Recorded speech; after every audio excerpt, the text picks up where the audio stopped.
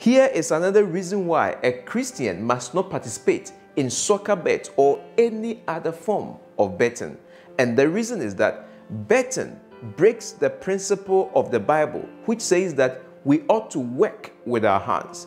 When God created man and the woman, He placed them in the Garden of Eden. According to the book of Genesis, chapter 2, God specifically instructed Adam and his wife to dress the garden. In other words, God instructed man to work to make sure that the garden that He had given to them was going to be fruitful for them.